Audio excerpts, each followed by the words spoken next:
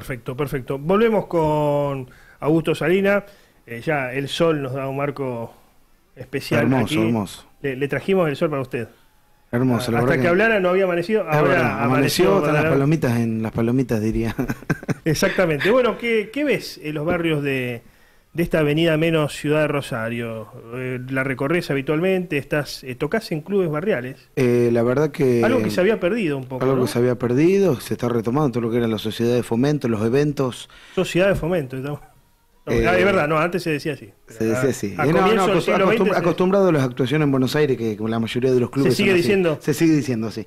Y lo que veo, veo bueno, eh, estuvimos casi dos meses desde agosto, septiembre, octubre, haciendo los famosos Días del Niño, llevamos a todos los barrios, porque la gente no puede disfrutar lamentablemente de un espectáculo o de un artista, o no pueden pagar una entrada para ir a un baile, a una cantina, a un lugar, y, y vos vas a los barrios, la verdad que ves, ves, ves algo, alguna pobreza extrema.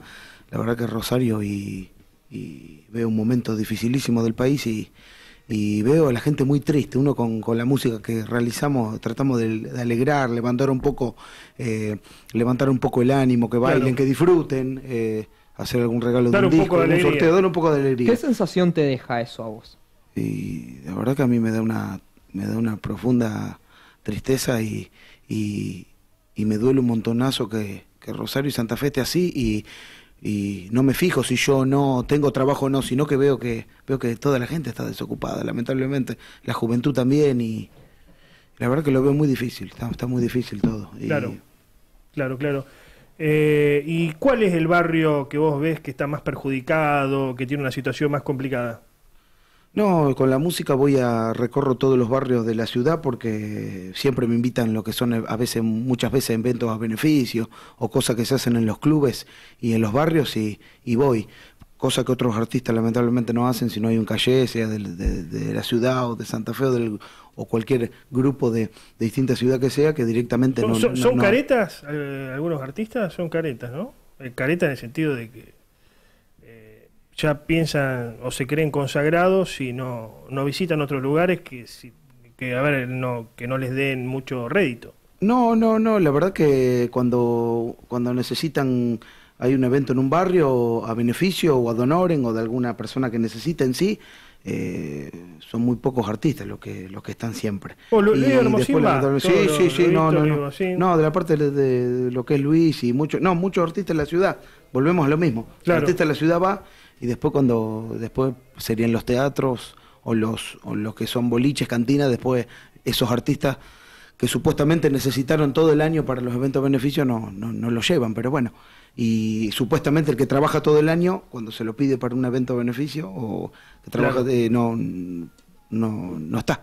O, Claro. si, o si no hay un calle, no va. Claro, ¿qui- ¿quiénes te acompañan en la banda, Augusto? Y están mis hermanos conmigo, Ro- Rogelio y Sandro Salinas, después, bueno, eh, son, son la banda, somos todos oriundos de- del barrio Asindar, el famoso barrio Asindar, que bueno, eh, que también le realizó un tema, bueno, y somos de Avellaneda, el 4500, de, de los Fonavi, estamos viviendo del año 1995, mis abuelos eran del barrio Asindar, bueno, mi abuelo trabajaba en la fábrica, así que, bueno, vivían en los famosos chalecitos de ahí. Claro. Y bueno, así Hoy que- el barrio, ¿cómo está ese? Está un poco transformado, ¿no? Está un poco transformado, sí, sí, la verdad que Asindar eh, se transformó con las casitas, con, bueno, eh, con todo el- el- lo que son los edificios y bueno, todo sobre Avellaneda también y bueno. Eh, pero- eh, pero ¿Para bien o para peor fue que, que venga el progreso, digamos?